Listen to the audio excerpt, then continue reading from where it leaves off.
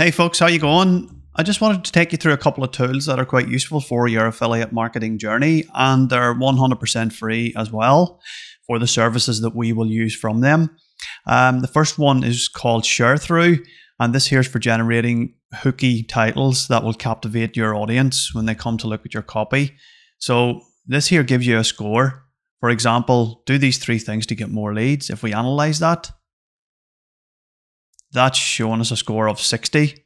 So if we want to change that to something different, we can again utilize ChatGPT, which is currently free also.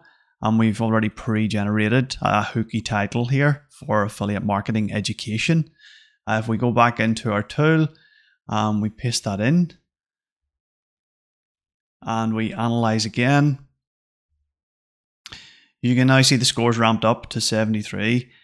And this here is based on like human nature. You know, it's how the headline quality score works, and it gives you a little bit about neuroscience down here. So it is taking into consideration, you know, human behavior. And um, I've used this here for a couple of my uh, TikTok videos, and yes, I've seen various results, folks. So it's another thing you might want to use for split testing, for example. Okay.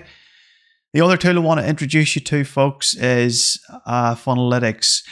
This here tool has got a free uh, resource for mapping your funnels, and it's absolutely brilliant. If you want to get it down visually first before you go into your funnel builder and start playing around, at least you've got something you can work off.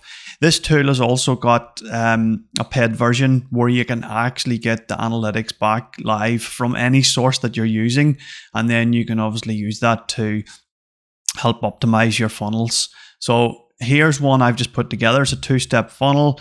You can stick your traffic sources in, your opt-in thank you page, and obviously you're trying to lead your um, your contacts to the sales page here, and it shows the autoresponder down the bottom. So we know exactly the pieces that we need to fit together for our sales funnel and autoresponder.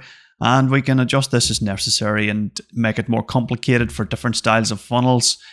I think it's an excellent tool. You know, um, it's got everything just sitting ready for bundles. You can do similar things in Canva, but you need to obviously tweak things a little bit so you can understand them. But uh, again, free to use, folks. I wouldn't, you know, cut it out of your list at all for things that go to to make your life easier.